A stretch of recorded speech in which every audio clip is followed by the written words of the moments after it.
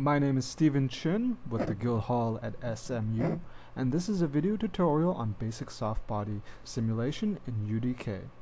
Today we will be using version May 2011, and the date of this tutorial is June 2011.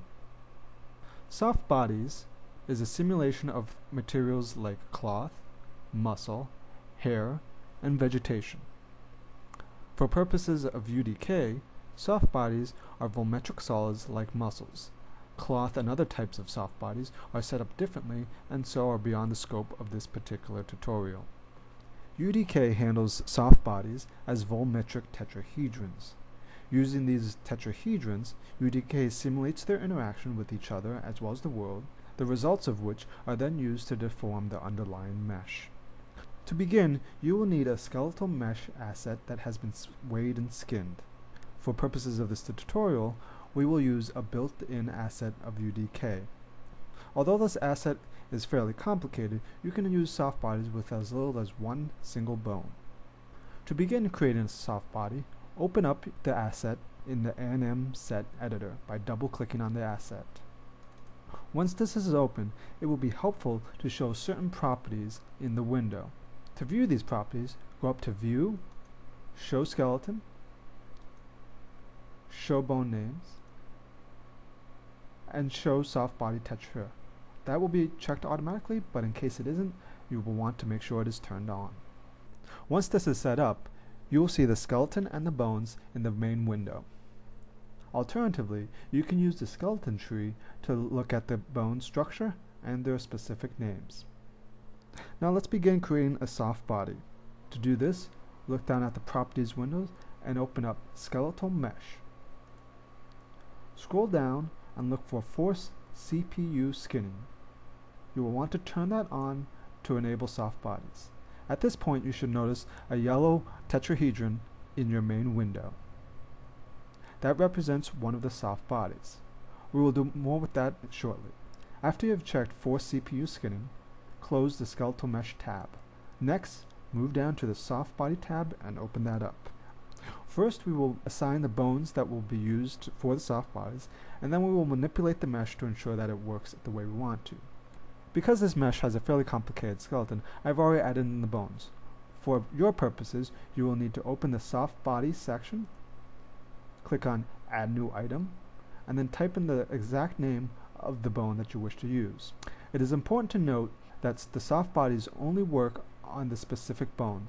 Thus if you have many bones, you will need to put them all into this section. If you do not, the soft body bones will fall away from the non-soft body bones once you put it into the editor. Up here on this icon is the Generate Soft Body Tetrahedron Mesh. Click on that and a mesh will be generated. Since we are using the default values, nothing will have changed. However, looking at this value, we'll see that the soft body does not cover the entire mesh, and this is undesirable. To change the detail level and the resolution of that generated mesh, there are several ways you can do this. You can increase the detail level, which will increase the size of the polygons used to generate the mesh. You can also use the subdivision level to increase the number of times that that mesh is then divided. Let's increase these to 16 for the subdivision level and 1 for the detail level. Once this is done, we will need to generate the soft body tetrahedron mesh again and let's see what happens. As you can see, the soft body tetrahedron is now much more complex and will simulate much more nicely. Let's simulate what the soft body looks like right now. To do so, select Toggle Soft Body Preview Simulation. That will cause the simulation to appear in the main window. As it is now, there's a little bit of soft body physics going on, but not too much. We'll change that. Let's start by changing the volume stiffness. What this represents is the soft body's resistance to changing its shape. The higher the value, the more the shape will want to stay at its original shape.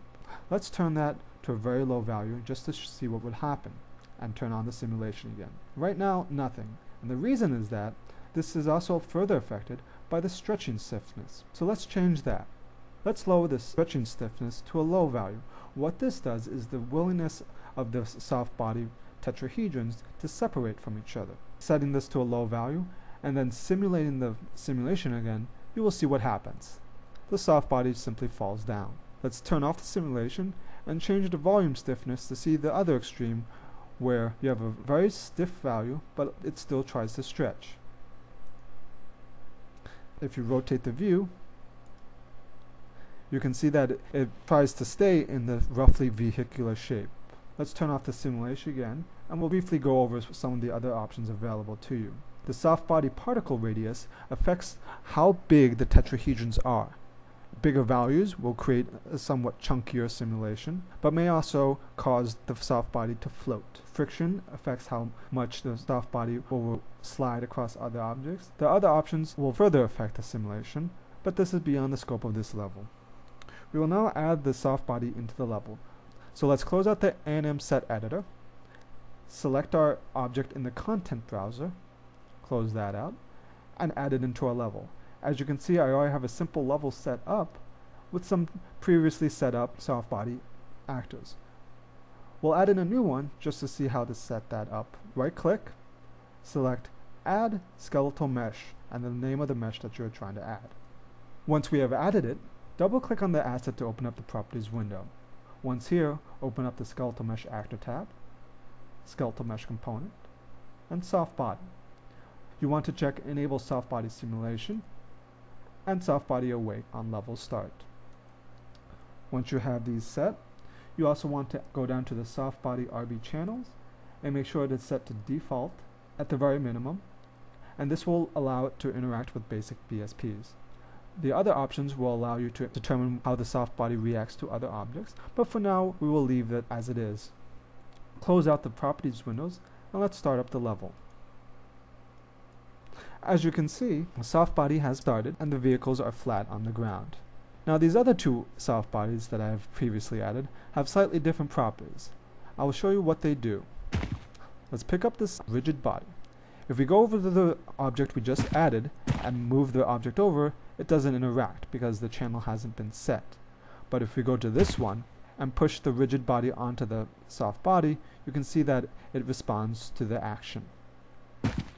Now for this soft body over here, this has been set up to use special bones which allows the soft body to be connected to other skeletal meshes. In this case, the skeletal mesh has been applied to the top so that it hangs from a, an invisible perch. It is still soft body though that can be interacted with, but it hangs there and will fall along the, the skeletal mesh. That covers the basics of soft body simulation in UDK. Thank you for listening to this tutorial and have a good day.